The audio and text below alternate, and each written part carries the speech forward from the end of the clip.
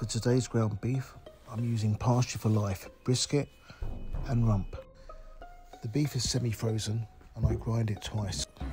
Once it's ground, I lay it on some cling film and then roll it. This makes it easier to slice for whatever you want to use it for.